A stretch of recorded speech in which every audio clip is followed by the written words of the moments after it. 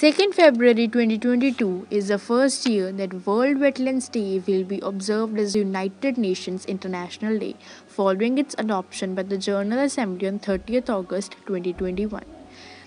Today I am going to present documentary on wetlands.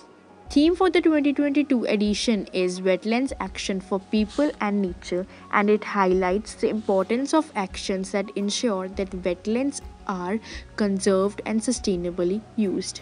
It's an appeal to invest financial, human, and political capital to save the world wetlands from disappearing and to restore those we have degraded. Our wetlands are disappearing. Sign up to raise awareness and spread the word about these precious water bodies.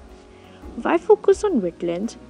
For years, we have been aware that our forests are dying off through human intervention, but wetlands are actually disappearing three times as fast as forests. We urgently need to address behaviors that are contributing to their decline, especially because currently wetlands are a massive weight against the carbon causing climate change. According to WWF India, wetlands are one of the most threatened of all ecosystems in India. Loss of vegetation, salinization, excessive inundation, water pollution, invasive species, excessive development, and road building have all damaged the country's wetlands ways to protect wetland on your property. Maintain a buffer strip of native plants along your streams and wetlands. Use pesticides and fertilizers sparingly. Avoid non-native and invasive species of plants. Avoid stormwater runoff and don't pollute. Keep your pets under control. Martha Rojas Urrego, Secretary General, Convention on Wetlands, 28 January 2022. World Wetlands Day is an opportunity to engage all stakeholders at all levels to strengthen and multiply actions for wetlands.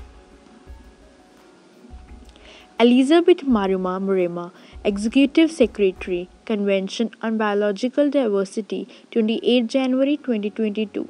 We will not achieve biodiversity conservation, climate change mitigation, and adaptation or the Sustainable Development Goals unless we restore. Jane Madgwick, Chief Executive Officer, Wetlands International, 28 January 2022.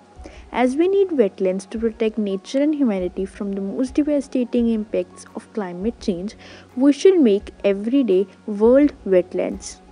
Wetlands of Punjab Kanjli Wetland, located at 6 km from Kapurthala, a popular site for picnic and bird watching. It's home for 92 species of birds besides several other kinds of mammals, amphibians and fishes. It was declared as an international site in 2002 by the Ramsar Convention. Harike Wetland, located at 68 kilometers from Tarn Taran Sahib.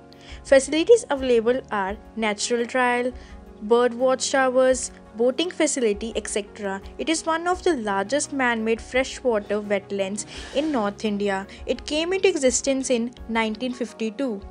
Ropar Wetland, located at 8 kilometers from Ropar. Facilities available interpretation center, boardwalk, natural trail, cafeteria, etc. It's an important ecological zone located in the Shivalik foothills of lower Himalayas. Ropar Wetland is a man-made freshwater wetland.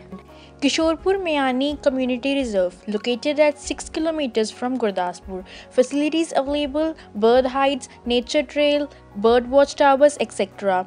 It is spread over an area of 850 acres of marshy land. Keshopur Miani Community Reserve is India's first notified community reserve under the Wildlife Protection Act 1972. Wetlands of India Loktak Lake located in Moirang in Manipur.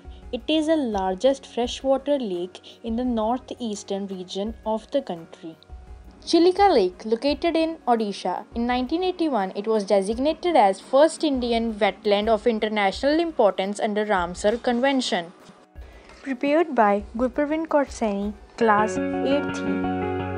Thank you for watching.